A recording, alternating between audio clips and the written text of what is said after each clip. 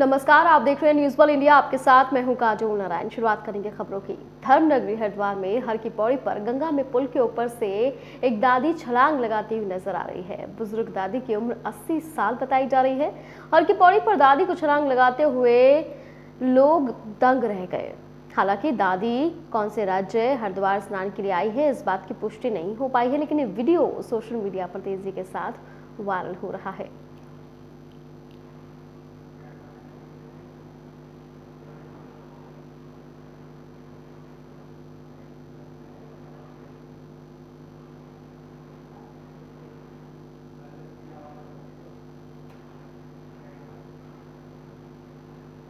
मुरादाबाद के कटगर थाना क्षेत्र के भदौड़ा मोहल्ले में उस वक्त हड़कम मच गया, जब एक अज्ञात युवक का शव मिलने से अफरा तफरी का माहौल हो गया।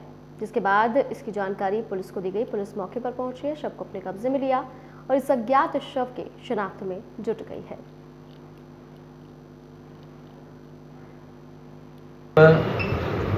भदौरा दस सराय चौकी के पीछे एक इलाका है रिहायशी जिसमें, जिसका नाम भदौरा है। वहाँ के पार्षद मंगल सेन ने चौकी पर सूचना दी कि वहाँ पर एक लड़की का शव खून से लथपथ पड़ा है। इस सूचना पर थाने की पुलिस, चौकी की पुलिस और मैं स्वयं वहाँ पर घटनास्थल पर हम लोग पहुँचे और पर हम लोगों ने निरीक्षण किया। तो वहाँ जो आसपास लोग मौजूद थे, वो लोग लड़की को पहचान नहीं रहे थे। लड़के की उम्र सत्ताईस, अट्ठाईस साल के आसपास होगी।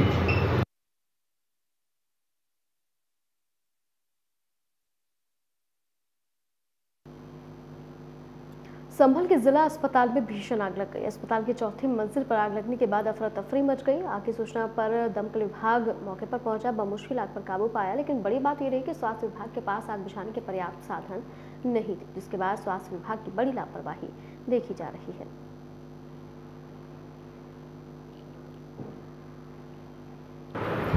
आज अभी लगभग 20-25 मिनट पहले, लगभग साढ़े दस, पौने ग्यारह के आसपास संभल में जो ज़िला संयुक्त चिकित्सालय है, उसके चौथे फ्लोर पर एक छोटी सी शॉर्ट सर्किट की घटना होने के कारण एक बेड में आग लगने की घटना हुई थी।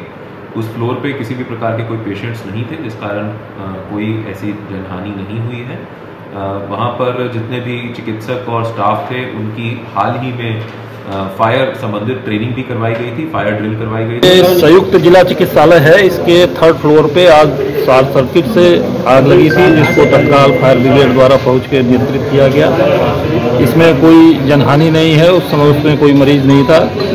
जो उस पर जनरल वार्ड है ऊपर एकदम, उसमें कोई मरीज़ नहीं था एडमिट और गद्दे वगैरह जले हैं। आग को नियंत्रित कर लिया गया है। बाकी चीज़ें आग लगने की वजह क्या बताई जा रही है? ये शॉर्ट सर्किट बताई जा रही है। देखिए यहाँ पर आज बहुत ही दुर्भाग्यपूर्ण घटना हुई है। लगभग दस बज के चालीस मिनट पर धुआँ ऊपर चौथी मंजिल से धुआँ उठता हुआ दिखाई दिया। जिस जगह से धुआँ उठ रहा था वहाँ पर ना हमारा कोई वार्ड मतलब वार्ड है पर वहाँ पे कोई हमारा मरीज़ भर्ती नहीं होता है। ठीक है वहाँ पर अभी एक हॉस्पिटल था यहाँ एशियन हॉस्पिटल करके तो हमारा कुछ सामान वहाँ गया हुआ था। तो अभी वो सामान वहाँ से वापस हुआ था तो वही सामान उनका कुछ गद्दे वद्दे वहाँ पे रखे हुए थे। तो लापरवाही मानते हैं हुई या नहीं हुई? आप वो तो सुन लीजिए भाई। उसमें फिर क्या हुआ? धुआँ उठा धुआँ उठते ही हम लोग की अग्निशासक दल द्वारा हम लोग की अभी दो बार ट्रेनिंग हुई थी। तो हमारे सारे कर्मचारी जितने मामले में बीस सिलेंडर थे वो लेके तुरंत वहाँ पहुँचे। आप लोगों ने देखा भी होगा और आप लोगों ने किसी वीडियो बनाया है। उन लोगों ने पूरी जी जान लगा के अपना प्रॉपर मास्क वास्क लगा के उस आग को बुझाया वहाँ पर।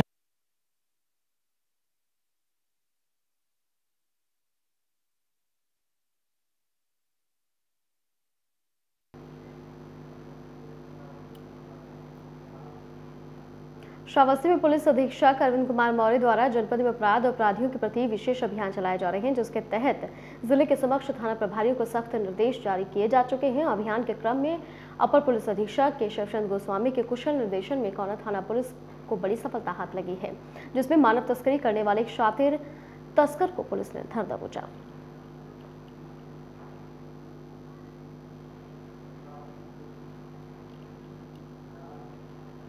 उत्तर प्रदेश के कई जिलों में फर्जी दारोगा बनकर धन उगाही करने वाले सक्रिय नज़र आ रहे हैं, जिसके चलते जनपद श्रावस्ती में भी फर्जी दारोगा बनकर फ्रॉड कॉल करके रुपा हड़पने वाले एक गिरोह का श्रावस्ती पुलिस ने पर्दाफाश किया जिसपे एक अभियुक्त को गिरफ़्तार करने में भी सफलता मिली है। वहीं गिरोह का एक और अभियुक्त फरार चल रहा है, जिसकी गिरफ्तारी के लिए टीम लगा दी गई है।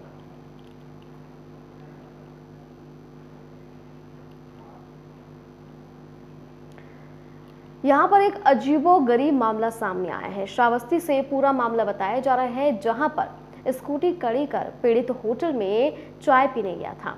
तभी छप्पन हज़ार की नकदी पर कुछ लोगों ने हाथ साफ़ कर दिया। मास्टर की से डिग्गी खोली, रुपए का बैग लेकर रफू चक्कर हो गए। होटल के पास मेडिकल स्टोर में लगे सीसीटीवी कैमरे में घटना की तस्वीरें कैद हैं। पुलिस घटनास्थल पर पहुँची है। इस पूरे मामले की छानबीन में जुटी हुई है।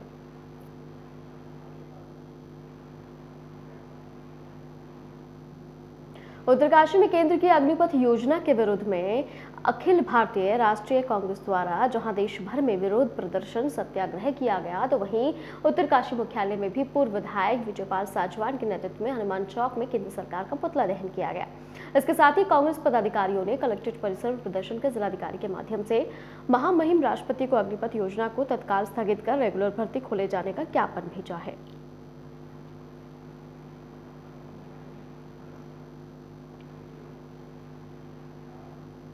सिक्योर हिमालय परियोजना इको टूरिज़्म प्रोग्राम के तहत परियोजना से जुड़े गाँवों में लगाए गए साइन बोर्ड संदीप राणा संयुक्त सचिव इको टूरिज़्म गंगोत्री सिक्योर बहुउद्देशीय स्वास्थ्य सहकारिता गंगोत्री ने बताया कि सेल्फ हेल्प संस्था देहरादून सिक्योर हिमालय परियोजना के तहत क्षेत्र में इको टूरिज़्म प्रोग्राम पर एक साल से कार्य किया जा रहा है, जो कि सराहनीय है।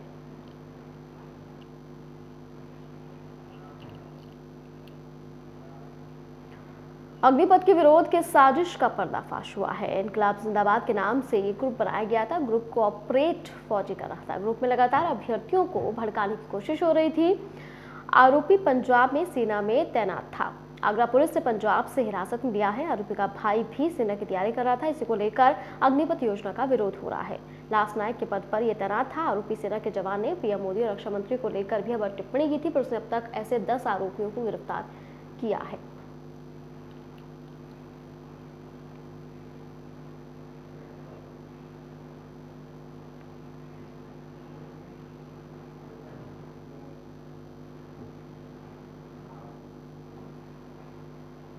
अलीगढ़ के थाना अकराबाद क्षेत्र के नेशनल हाईवे पर आवारा गौवंश से अवर अभियंता की बाइक टकराने से गौवंश के साथ बाइक सवार अवर अभियंता की मौत हो गई। सूचना पर पहुँची पुलिस ने मृतक के शव को कब्जे में लेकर पोस्टमार्टम के लिए भेज दिया है।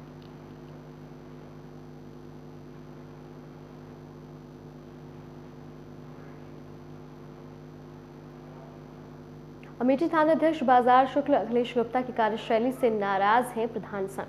थाना अध्यक्ष को हटाने को लेकर प्रधान संघ ने एसपी दिनेश सिंह से मुलाकात कर ज्ञापन सौंपा। इस दौरान क्षेत्र विधायक और पूर्व राज्य मंत्री सुरेश पासी भी मौजूद थे।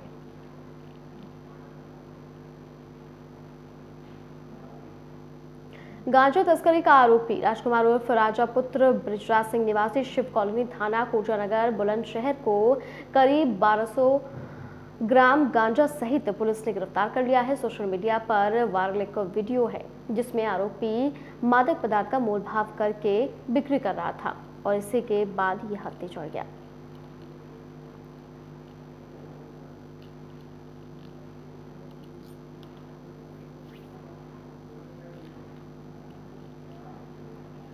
बुलंदशहर में शासन के निर्देशानुसार माध्यमिक विभाग के विद्यालयों में शिक्षा क्षेत्र में लागू सरकार की योजनाओं के संबंध में जागरूकता बढ़ाने और पठन पाठन कराने के लिए प्रधानाचार्य संगोष्ठी का आयोजन किया गया।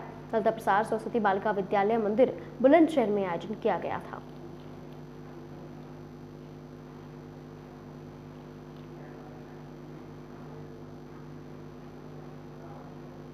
शामली में इन दिनों भाजपा नेता का एक वीडियो सोशल मीडिया पर जमकर वायरल हो रहा है, जिसमें भाजपा नेता नाले में हुई गंदगी को देख भड़क उठे और मौके से अधिकारियों को फ़ोन कर गाली गलौज करने लगे। तस्वीरों में साफ़ तौर पर देखा जा सकता है कि किस प्रकार भाजपा नेता अधिकारियों को हड़काते हुए गाली गलौज करते हुए धमकियाँ देते हुए नज़र आ रहे हैं और साथ ही साथ ये कह रहे हैं कि मोदी जी और योगी जी की योजनाओं को तुम पलीता लगा रहे हो। भाजपा नेता ने अधिकारियों पर यह भी आरोप लगाया कि पर्चे लगाकर तुम लाखों निकाल लेते हो और यहाँ पर दस हज़ार रुपए का भी काम नहीं हो रहा।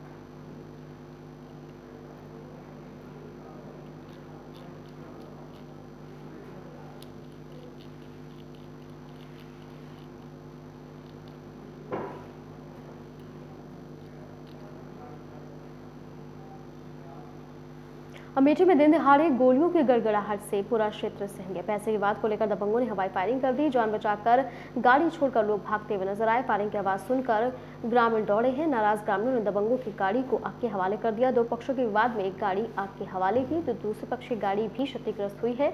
जगदीशपुर कोतवाली क्षेत्र के लुधियावा गाँव के पास का पूरा मामला। आज हमारे साथ हमारे दोस्त और हमारे मौसी लड़के प्रदीप शुक्ला, हमारे बिहारी यादव से पहले पैसे के लेन देन का मामला था तो उसको लेकर आज हमारे मौसी लड़के और सुमित यादव, हमारे दोस्त को, ये लोग बैंक से दौड़ाते हुए हमारे गाँव तक आए और गोली चलाई इनके ऊपर और हमारी गाड़ी तोड़ डाली।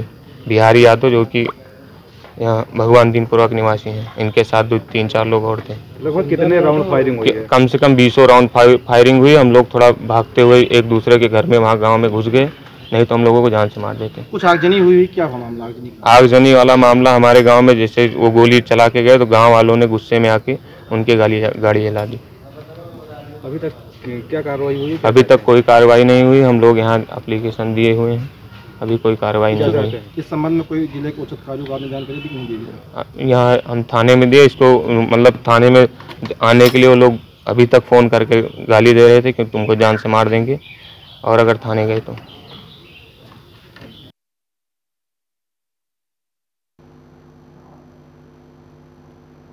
नागलहेड़ी में सोमवार रात देहरादून रोड स्थित बाइक एजेंसी में चोरों ने चोरी की वारदात को अंजाम दिया। एजेंसी पर चोर पीछे के रास्ते से दीवार पर चढ़े और फिर दीवार तोड़कर अंदर घुस गए। चोरी की वारदात कैमरे में कैद हो गई। सूचना मिलते ही पुलिस मौके पर पहुँची है इस पूरे मामले की छानबीन में जुटी हुई है।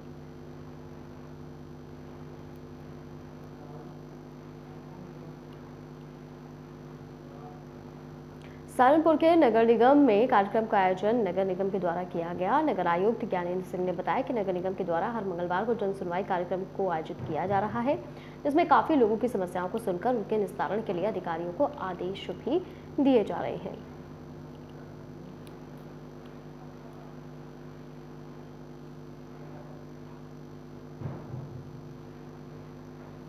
और इसी के साथ फ़िलहाल खबरों में इतना ही। आप बने रहिए न्यूज़ वन इंडिया के साथ।